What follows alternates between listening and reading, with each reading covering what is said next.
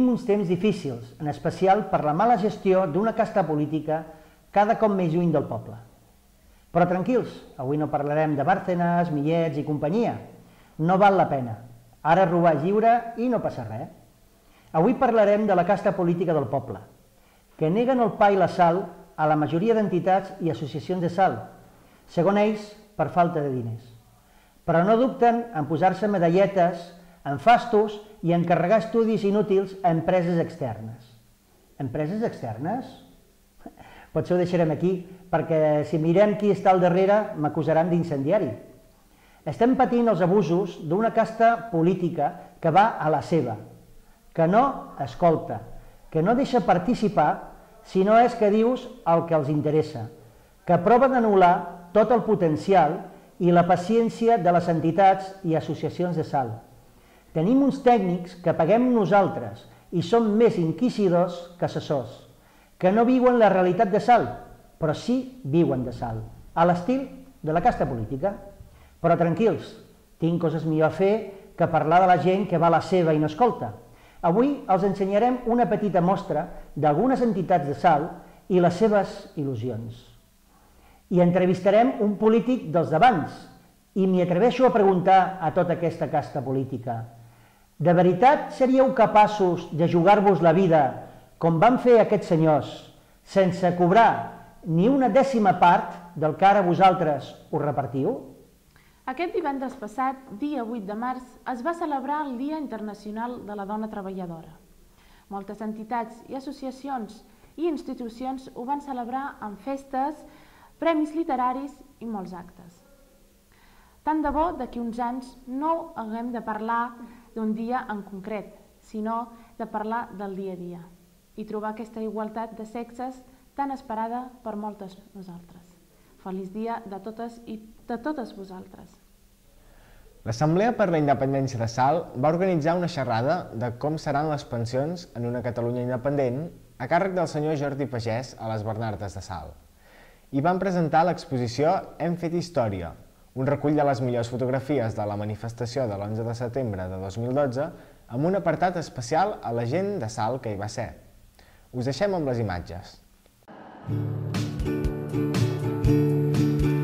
Catalunya té una història des de fa més de mil anys, de vegades gloriosa, altre cop per oblidar, perquè en els últims sis segles sembla que haguem trepitjat una immensa ensaïmada de bubi castellà, piti collons, piti collons, ja n'estem farts de baixar-se els pantalons, piti collons, piti collons, prendre pel sac botifles i borbons.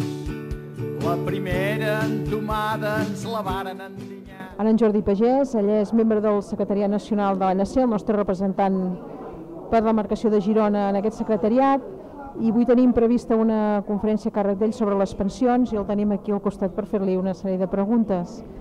A veure, Jordi, ja porteu uns dies, bueno, ja força setmanes fent aquest cicle de, de xerrades. Quina valoració en treus eh, i una mica, explica'ns una miqueta com, com ho esteu fent pel territori. Mira, vam començar fent això perquè era un dels punts que espanten una mica a la gent algunes de les declaracions i de les mentides que solen dir doncs, el Partit Popular concretament. No? Llavors, com que per desfer les mentides no hi ha res més bo que la informació, eh, la Fundació Les Voltes, que ha iniciat ara, la llibreria Les Voltes, que ha iniciat ara la seva tasca, doncs va començar a fer tota una sèrie de, de xerrades a diferents llocs del Gironès i d'altres llocs, explicant i donant informació de la realitat. Començant per això, però també doncs, es fan altres xerrades sobre temes jurídics i temes econòmics, sobretot intentant donar informació i que la gent sàpiga realment quina és la situació. Una miqueta el, el perfil de, de públic que teniu o què és el que, que espereu, quina reacció espereu de la gent que ve a escoltar les vostres xerrades? La xerrada de les pensions normalment solen ser pensionistes. Sí que és veritat que també hi ha gent que estan a prop de la jubilació, però la majoria són pensionistes i crec que aconseguim en dades, inclús dades tretes de la pròpia Seguretat Social, logrem aconseguir explicar realment com funciona el tema de pensions i que realment amb una seguretat social catalana les pensions estarien molt més assegurades i fins i tot més grans. Us fan moltes preguntes. La gent, quan acabeu les xerrades, es veu interès? Sí, hi han preguntes que algunes a vegades no els sabem contestar, però altres sí, perquè realment és un tema que preocupa, eh? és lògic. Les persones que estan jubilades, una de les coses que els preocupa és continuar cobrant la seva jubilació. És lògic i, per tant, sí que n'hi han de preguntes. I quasi, quasi sempre, quasi sempre, en una mateixa direcció, que és la por que els hi fa en el moment del, de la transició de deixar Espanya per entrar a Catalunya. Molt bé, doncs entrarem de seguida, ja està començant a arribar al públic, entrarem de seguida cap a fer aquesta xerrada. Gràcies Jordi. I també convidar tots els saltencs a l'exposició que inaugurem avui. Eh, hem fet història, que és un recull de fotografies de l'11 de setembre passat, on segurament molts de vosaltres us identificareu. Aquest passat dijous, el fotògraf saltenc Martí Artalejo va inaugurar l'exposició Sal Pas a Pas. Sal Pas a Pas és un excel·lent treball de fotografia d'un retrat per dia, que reflecteix una representació dels habitants de Sal. Un treball sincer i realista i per sobre de tot sense complexes. Us deixem amb algunes de les imatges. Al meu bloc hi ha una dama que és bonica com un sol. Té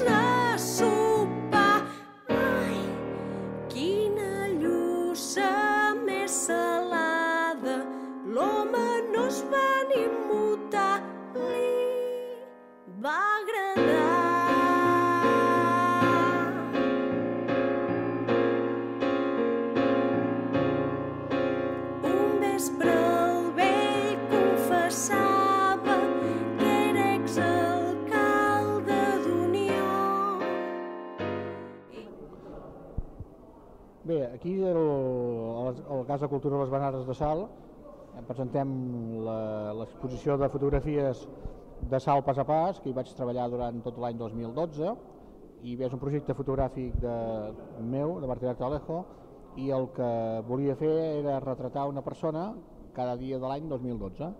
Si comptéssim tots els dies, doncs serien 366 dies, 366 retrats. Eh?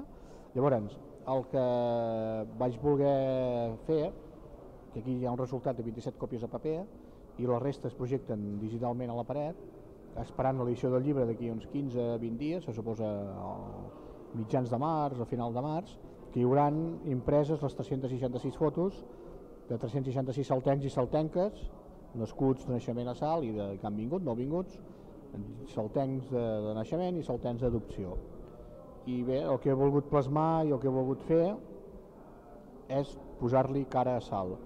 I això, aquest projecte em va sorgir de, diguéssim, de, de, de com parlaven les cadenes nacionals, com l'Antena 3 i TV5, despectivament de Sal, que tots érem uns xorissos i tots érem aquí racistes, etc etc. doncs vaig pensar de posar-li cara a Sal. La manera que se'm va ocórrer, més acertada o menys, és fer una foto cada dia durant l'any 2012 i bé, el resultat doncs, hi ha aquí a les Bernardes amb 27 còpies de paper i les altres digitalment o projectades i bé, doncs tothom que passi per aquí a les Bernardes durant el mes de març veurà eh, gent, saltencs i saltenques d'avui i d'ahir, perquè vaig enviar la foto de la Marta Font que ja ens ha deixat i fotos d'en Roc Ramiro Meléndez que té dos mesos escaig.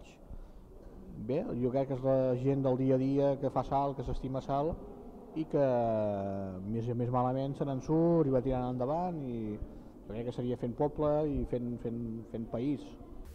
Aquesta setmana també hem visitat a les Puntaires de Sal, que ens han rebut al seu local de l'hotel de- de l'Hotel d'Entitats. Han compartit amb nosaltres la seva afició i ens han explicat les sensacions que els hi produeix una activitat tan tradicional. Us deixem amb les imatges. Hola, sóc la Conxita, fa 15 anys que estem aquí fent puntes, que abans eren molta colla, ara no són tantes, però ens ho passem molt bé i venim cada dijous i aquí tothom, n'hi ha que ara fan cursets de coses noves i, i no sé què més dir. això són, això que tenim aquí sobre la taula són dos xals i fes puntes modernes, després fem, fem puntes per tovalloles, tovalles, bueno, tot el que, tot el que se li acudeix.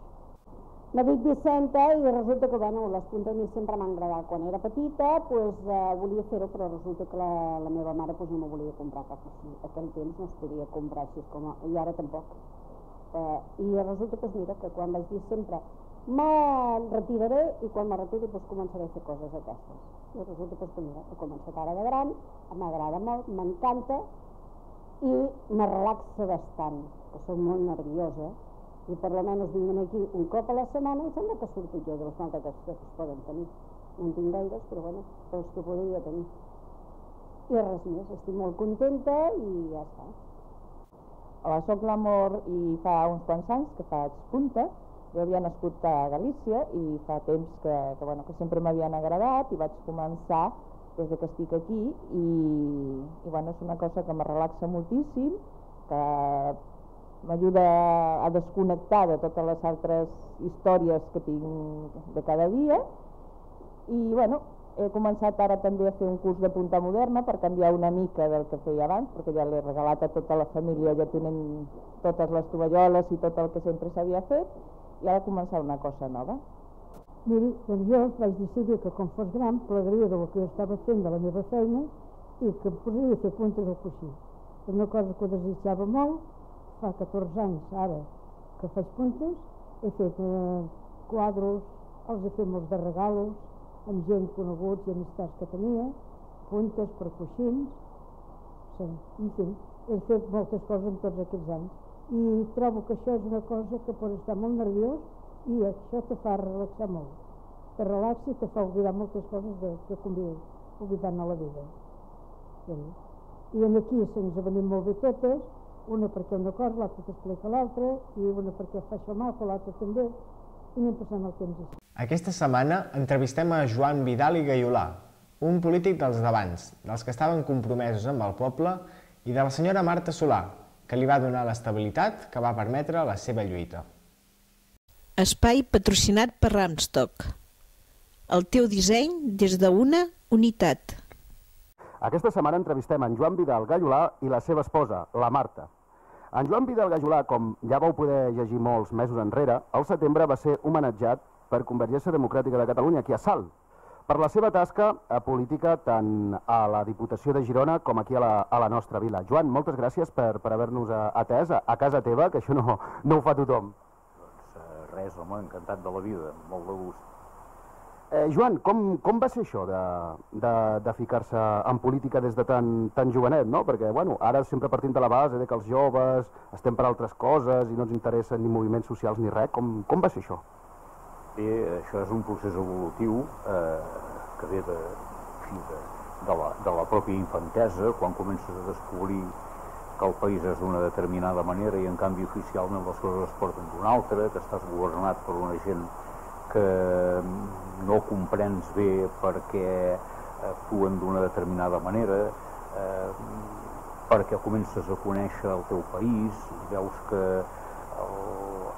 govern i la situació política és contrària a la situació, a la realitat, a la cultura del país, i aleshores comences a agafar consciència i de mica en mica doncs, et vas implicant, i és, és un procés evolutiu.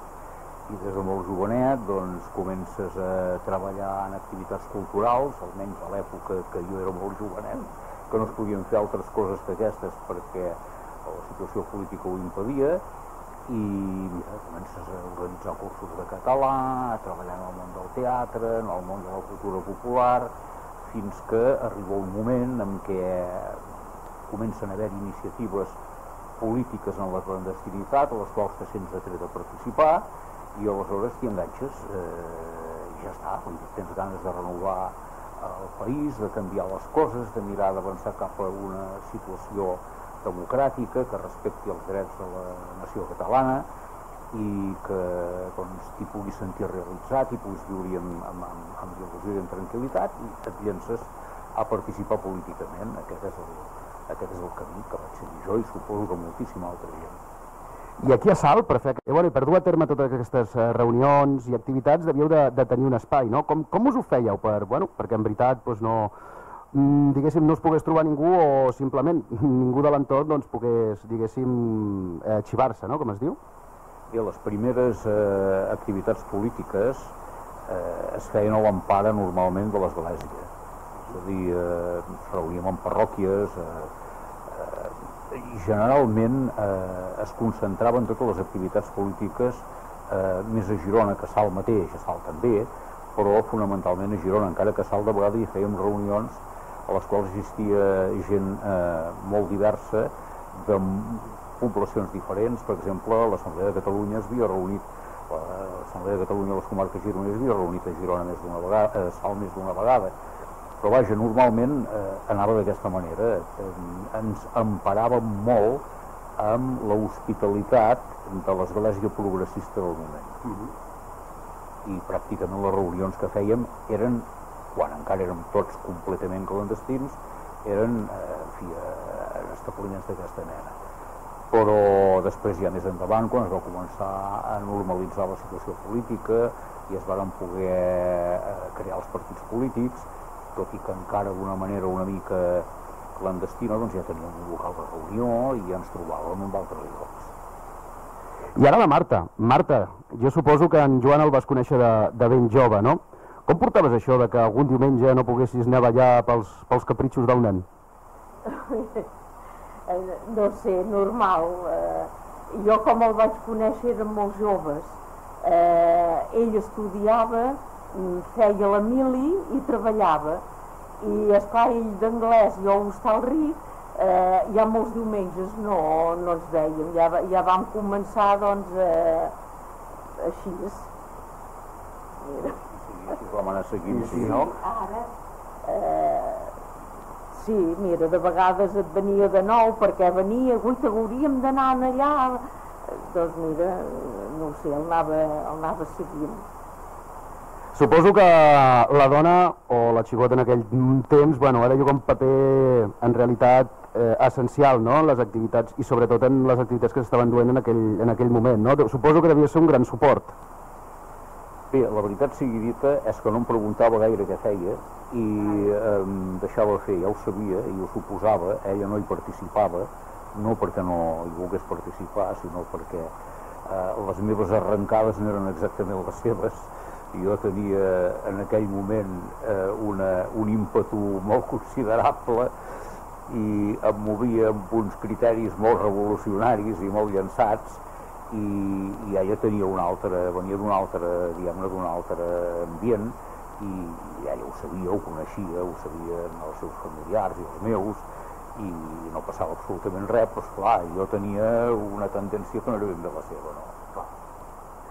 I bueno, ja tornem, diguéssim, a, més cap a, avancem cap a l'era més democràtica, no? Moment que es comencen a constituir ajuntaments, primeres eleccions municipals democràtiques, a les que tu vas ser cap de llista a Girona, i bueno, què, què et va comportar tot això? Explica'ns una miqueta. Home, això em va comportar un canvi a mi i a ella i a tota la família, un canvi radical en la nostra vida, perquè, eh, clar, jo eh, amb altres dos companys tenia un despatx d'assessoria i em dedicava professionalment a assessorar empreses i vaig presentar les eleccions eh, municipals. I era pensant que l'Ajuntament era una cosa que portava feina però que ho podria compaginar. Vaig sortir, no vaig ser no, vaig, no, no vam guanyar les eleccions per molt poc però vaig ser regidor, no vaig ser alcalde. I aleshores ens vam adonar perquè jo no hi havia pensat mai en això que tenint en compte el nombre de regidors que havíem obtingut a tota la província de Girona, havíem guanyat la Diputació per majoria absoluta, diria absolutíssima, vaja, una majoria total. I aleshores el partit em va proposar perquè jo eh, fos el president de la Diputació, que havia de ser elegit, és a dir, que la Convergència Unió em presentés a mi, com que teníem majoria absoluta de, de, de, diputats electes doncs, eh, vaig a ser president de la Diputació. Quan em van elegir jo pensava que això era una cosa que no portava gaire feina, perquè eh, tenia present que l'anterior president de la Diputació era un senyor que tenia un càrrec molt important a la Torre Sosteng i que anava a firmar, però que ell continuava dirigint la Torre Sosteng i per tant eh, vaig pensar, home, si aquest senyor fa això, tu també podràs continuar portant la teva feina al despatx. Però esclar, quan nosaltres vàrem desembarcar a la Diputació, vàrem veure que hi havia una quantitat de feina a fer impressionant, que hi havia moltes possibilitats per fer moltes coses i que no podíem mirar-nos-ho de lluny, que per tant que ens hi havíem de posar i ens hi havíem d'entregar. El resultat va ser que pràcticament vaig abandonar la meva activitat professional, primer eh, llançant-me allò que en diuen a la piscina, per tant, sense tenir retribució econòmica, perquè ara tothom primer pregunta què cobrarà, però quan jo vaig anar a la Diputació no es cobrava quan vaig entrar. Després es va solucionar el tema i es van atribuir unes, unes retribucions que et permetien viure, però que no et deixaven, per entendre'ns, acumular patrimoni amb la teva feina, impossible. Però bé, vam anar-hi d'aquesta manera, amb molta il·lusió, amb una gran il·lusió, i, clar, eh, amb un esperit completament diferent. Quan tu mires ara, mmm, és que no té res a veure. La política, tal com ha evolucionat fins avui, no té res a veure amb la política que va néixer aquell 1979, amb la il·lusió d'una gent que anava a treballar per al país, per al seu poble, eh, per fer les coses bé, per fer les coses noves, per tirar projectes endavant, etc. I, eh, per tant, això va representar per mi un canvi total. Entre altres coses perquè eh, ens va sortir molt bé la feina que fèiem a la Diputació, entre tots, evidentment, jo encapçalava eh, la institució, i això va fer que mm, agafés un cert prestigi social eh, a Girona i a tota la província, mm, de tal manera que el meu partit em va demanar que les eleccions al Parlament de Catalunya l'any 80, quan tot just feia 9 mesos que jo era president de la Diputació, em presentés com a cap de llista eh, i que abandonés la Diputació, el qual em va ser un greu enorme, perquè jo m'hi trobava molt bé, perquè veia la quantitat de coses que podríem fer si continuàvem treballant-hi, però la meva presidència va durar 9 mesos perquè ho vaig fer tan bé que varen decidir que més valia que em presentés a les eleccions perquè em votaria molta gent, perquè reconeixien la feina que havia anat fent. Per tant, a partir d'aquí encara va canviar més la nostra vida, perquè, clar, vaig presentar les eleccions al Parlament de Catalunya, vàrem guanyar les eleccions i el president Pujol em va proposar si volia fer de conseller de Governació. Això ja eren paraules molt grans, volia dir anar-te'n a Barcelona, portar-hi la família, eh, treure els nens de Sal, que és allà on havien nascut i on havien viscut amb els seus amics, la seva escola, els seus companys, etc. treure la meva dona d'aquí, que ja coneixia tothom, i anar-nos a un lloc que no coneixíem ningú, eh, i a més a més sabent que abandonàvem completament les activitats professionals, que ens llançàvem altra vegada a la piscina, però d'una manera molt més profunda, i que la nostra feina era una feina, eh, doncs diguem-ne, que es podia acabar en qualsevol moment. És a dir, tu eres un, un, un, un interí, un càrrec electe, vull dir, tenia, tenies, no, no sabies quan t'acabaria la feina, vull dir, això que fa tanta por ara, de tanta gent que queda sense feina, et podien fer un euro en qualsevol moment, per dir-ho d'alguna manera, i et podies trobar al carrer havent-ho abandonat tot. Però la il·lusió hi era, i teníem tantes ganes de tirar-ho endavant, i pensàvem que tenia, i vàrem fer-ho, i vàrem anar, i encantats de la vida, però vull dir que la meva vida, jo que em començaves preguntant si la nostra vida havia canviat com a conseqüència, doncs home, totalment, de dalt a. I, i, i abans, de, abans de tot això, eh, el que la gent no sap són les reunions que havia fet. Eh, venia apenes, veia mai els nens perquè com, com arribava eh, ja eren a dormir. Eh, reunions clandestines, tot això la gent, la gent no ho coneix, la gent no ho sap. Reunions a Barcelona que no sabien on anaven. Eh, els hi donaven un, un paper de, de, tot d'amagat havia portat a casa gent a dormir, que el primer de tot que feia és, si hi havia una finestra a l'habitació, que si eh, passava alguna cosa poguessin saltar i marxar. Eh, tot això la, la, la gent no ho sap. és, és, és una, una, una vida di- diferent. A- a- Reunions cap aquí, cap allà, si veia que hi havia algun perill, principalment, com teníem el, el primer nen, doncs em agafava i em portava cap a Hostalric amb els meus pares, perquè eh, hi, hi podia haver-hi algun perill. Eh, això també hauries de- d'explicar, perquè això la, la, la, la gent no ho sap, no? Això ja se suposa. Sí. Oh, Jo hagués fet el mateix, eh? Clar. Això ja se Sí. suposa. Sí. Jo hagués fet el mateix, també. I és així. I bueno, i clar, vas, a més és que vas tenir, diguéssim, la, la sort de poder participar democràticament en política quan, diguéssim, arrencava tot, no? Com, com et deia abans amb, amb micròfon tancat, estem parlant, clar, de l'edat de les pedres, que es defineix així, que ho havíeu de construir tot, i bueno, i molts processos, no? Com el d'independència de Sals, Sarrià, construcció de les Bernardes... Bueno, explica'ns una miqueta, no?, tot, tot això. Bueno, eh, quan ja vaig ser elegit president de la Diputació, eh, vaig presentar les eleccions municipals, i jo vivia a Salt, eh, evidentment si Salt hagués tingut ajuntament, segurament m'hauria presentat a la- a l'Ajuntament de Salt, però en aquell moment Salt estava annexionada a Girona, però vàrem tenir molt en compte al fer la candidatura que hi hagués un nombre destacat de membres de, de, de veïns de Salt en la nostra candidatura. I alguns molt ben situats en la llista perquè poguessin sortir elegits i així poguéssim, eh, des de la nostra candidatura i des de l'Ajuntament, col·laborar amb els altres que hi volguessin participar per impulsar eh, la recuperació de, de la independència de Salt. Eh, de fet, aquí va haver una comissió que va treballar molt intensament a nivell popular i va ser molt important la seva, la seva feina, molt, molt fonamental, però eh, va ser possible recuperar la independència, entre altres coses, perquè a nivell de l'Ajuntament de Girona hi havia una voluntat política eh, absoluta, jo diria que eh, a tots els grups eh, municipals i evidentment en el nostre d'una forma molt destacada de fer possible que es pogués recuperar la independència i després quan vam estar a la Generalitat, home, jo era el conseller de Governació, jo vaig iniciar l'expedient per obtenir la independència de Salt.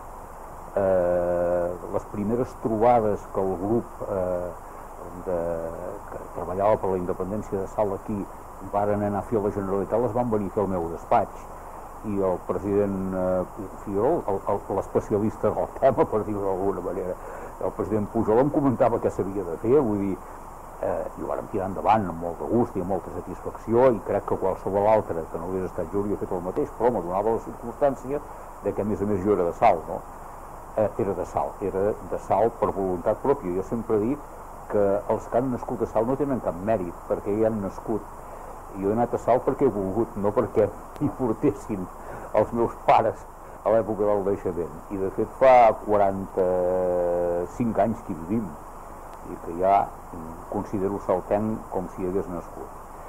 Aleshores, eh, bueno, eh, vaig presentar, vam anar a la Diputació i quan vaig estar a la Diputació l'Alfons Moré, que després era regidor de l'Ajuntament de Girona també, i que va ser el primer cap de, i únic em sembla, el primer de, del Consell Municipal de Salt, perquè mentre no hi havia Ajuntament eh, no s'havia recuperat la independència, l'Ajuntament de Girona va decidir que la singularitat de Salt, mentre no s'aconseguís el que es volia aconseguir, s'havia de reconèixer, es va crear un Consell Municipal, Alfons Moré un dia em va venir a veure i em va dir ostres Vidal, està passant una cosa molt greu. I saps, les Bernardes se les volen vendre les monges. I resulta que hi volen fer un edifici molt alt tan alt com el de l'altre costat del carrer aquest que encara hi ha a la cantonada amb el Francesc Macià no? i vam dir, home, això seria un desastre. A més jo coneixia molt bé les Bernardes perquè quan vàrem venir a viure eh, Sal, vam anar a viure justament al costat de l'Hort de les Bernardes, al, ca al carrer Pius 12 davant de la Farga. I, i esclar, jo des de no, la nostra habitació dèiem a les monges com passejàvem per l'hort i aquell home que tenien llogat com els hi cuidava l'hort, no? I coneixia perfectament les Bernardes i aleshores dèiem, això no pot ser. I, i què sé, hauríem de mirar a veure si podem comprar les Bernardes per tirar endavant un projecte cultural i doncs mira, eh, vaig plantejar als meus companys a la Diputació i vaig posar-hi tot, eh, tot l'interès que hi havia de posar i vam comprar les Bernardes per fer la Casa de Cultura i tots els serveis que es coneixen i que hi ha ara. Eh, jo vaig fer la compra, no la vaig poder pagar perquè eh, el, quan vaig deixar la Diputació per anar a la Generalitat encara no s'havia acabat de formalitzar el pagament, però és igual, vull dir, a les monges les vaig anar a convèncer jo. I, i l'Alfons Moré, la veritat. I aleshores, doncs, eh, vàrem firmar el, el contracte nosaltres i gràcies a això Sal en aquest moment té les Bernardes. I em sembla que ha sigut una bona operació.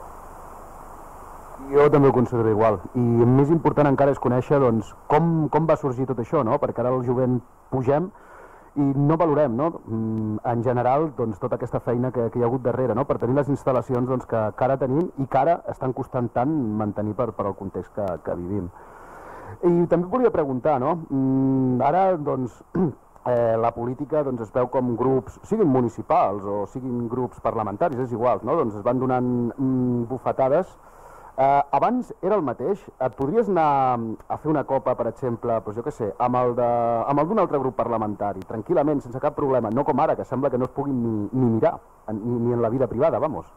Doncs sí, eh, en aquell moment això anava així. Mira, et diré una cosa, que és que ara, la, esclar, el jovent no ho sap i la gent gran de l'època no se'n recorda.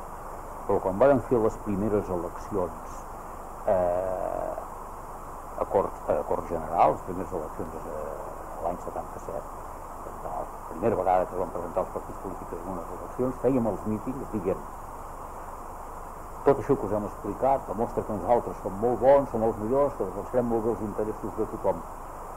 Eh, I us demanem, si us plau, que ens voteu a nosaltres. I després dèiem, però si no us hem acabat de convèncer i no ens voleu votar, voteu almenys un partit catalanista i democràtic. Ah. Fins i tot donàvem l'opció a la gent que en votessin un altre, però que votessin, no? Això era impensable. Home, això és fomentar la democràcia. Això sí, això és impensable. Esclar que l'època també ho requeria, l'època també ho requeria, perquè anàvem a iniciar un procés que havia de portar a l'aprovació la, d'una Constitució i, i, doncs, i, i, i, i a l'inici d'una nova època política i social i democràtica. No? Però sí, i no, home, no hi, a més, sempre hi ha hagut les rivalitats clàssiques d'un partit a l'altre, com se sap, ja, sempre ens hem dit les coses, eh, ja, tires i afluixes n'hi ha hagut sempre, però sí, i encara ara, i eh, la gent que havien estat eh, en política en aquell temps, eh, quan ens trobem, doncs, eh, no solament ens saludem, sinó que mm, veiem que hi ha una simpatia mútua i havíem estat en grups polítics diferents, però havíem compartit moltes coses. Al final és el que queda, queda amb els anys, la, la veritat és, és aquesta, no? I bueno, tu, eh, personalment, quin, quina tasca, t'ha quedat alguna tasca així pendent, no?, a nivell polític per, per, per fer? Jo que dic, hosti, m'agradaria fer això, però no m'ha donat temps o no he pogut fer-ho pel que sigui. Home, mira, hi ha una tasca política que fa 300 anys que està pendent i que cada vegada l'hem volgut arreglar i resulta que l'han volgut arreglar totes les generacions que hi han hagut de 300 anys cap aquí. I cada vegada passa el mateix, és a dir, ara, quan es va aprovar a la Constitució espanyola i es van crear les comunitats autònomes. I es va dir que hi havia comunitats històriques i comunitats no històriques i que les comunitats històriques havien de tenir un tracte diferent perquè hi havia unes peculiaritats. I tots vàrem pensar que trobaríem la solució perquè poguessin viure junts plegats en harmonia i en respecte mutu. Però resulta que aquest dimoni que fa 300 anys que va donant voltes va tornant d'una manera progressiva, eh? d'una manera cíclica, i quan sembla que el dimoni s'ha mort torna a ressuscitar i torna a sortir i bueno, vol dir que el que m'havia quedat pendent eh, quan vàrem començar continua estant pendent però ho ha estat no pas per la meva generació i prou, ja. sinó per totes les generacions que s'han trobat amb aquestes circumstàncies des de fa 300 anys. I ho sento, però no hi he pogut fer prou. Doncs moltes gràcies per haver-nos obert la, les portes de, de casa vostra i haver-nos tratat amb aquesta hospitalitat i això, mm, a continuar vivint i a disfrutar de, de la vida. Molt bé, doncs moltes gràcies. Miquel Caselles i les cuineres de Sal van ser aquest diumenge passat la persona i entitat guardonades amb el Premi 3 de març d'aquest 2013. Caselles ha estat proposat pel seu treball i dedicació personal al poble de Sal. I les cuineres per la seva tasca desinteressada en l'àmbit del foment dels valors de la cuina tradicional saltenca a la, via, a la vila i arreu de les comarques gironines. Us deixem amb algunes de les imatges. Miquel Caselles Casals, a més de ser membre actiu de la comissió de 22 persones que ara fa 30 anys van aconseguir la independència de Salt, ha participat a diverses entitats de la vila, fent teatre, estorets o organitzant la cavalcada de Reis. També ha estat patró cofundador de la residència Les Vetes i membre de la comissió del mil·lenari de la parròquia de Sant Cugat. És de mena optimista i encara no fa massa deia en una entrevista a la premsa crec que falta poc pel rebrot econòmic. També destacava que ell ja ha viscut un procés d'independència, el de Salt, i es mostrava convençut que ara també ens en sortirem. Mentrestant, però, se li ha encomanat que no deixi de treballar pels saltencs, ara com a defensor del ciutadà. Però abans, aquest reconeixement. Si pot acompanyar-nos, sisplau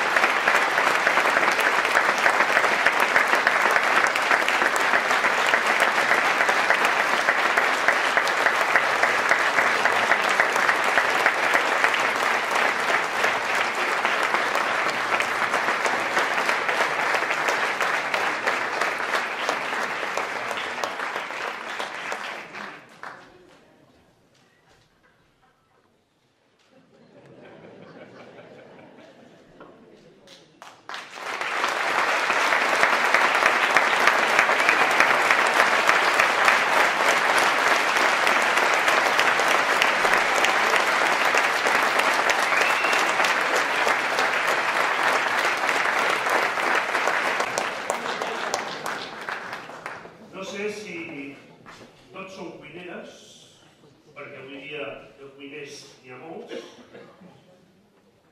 Potser no es mullen tant, o potser es mullen més en un altre àmbit. És un grup que va néixer el 2002, per iniciativa d'un petit grup de gent, entre ells el Buidaiol, la Marcela Tobert, la Catalina Soler i la Dolors Bosch, amb el suport de la Maria Lluïsa Torrent. D'entrant, el 2006 ja ens van oferir el receptari La cuina de les àvies de Sal, amb dues edicions, per cert, totes dues exaurides. De primer plat, participen en activitats a la vila com ara la Fira del Cistell, l'exposició de flors o la Fira de les Cuines del Món. De segon plat estan habituades a cuinar cursos temàtics per a joves, de cuina ràpida, de temporada, o de la cuina amb productes de les hortes de sal. Tot això amanit amb unes postres sobre un nou receptari de la cuina d'avui i de la d'abans, amb la voluntat de salvaguardar les receptes i que quedin escrites per a les properes generacions. Sisplau, les cuineres de sal, si parlar El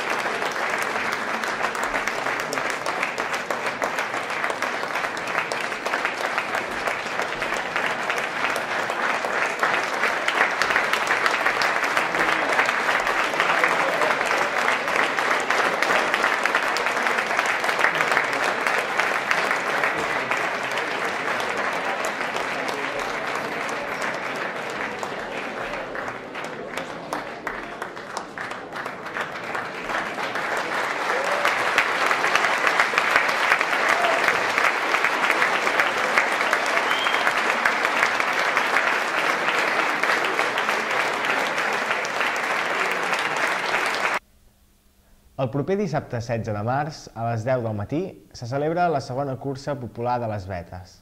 La cursa de les Vetes tindrà dues distàncies, una de 5 quilòmetres i l'altra de 10 quilòmetres, i comptarà amb l'animació de la banda d'en Pere Botero. La cursa de les Vetes és de caràcter benèfic i tindrà una inscripció de 7 euros. Des de TV Sal us animem a participar.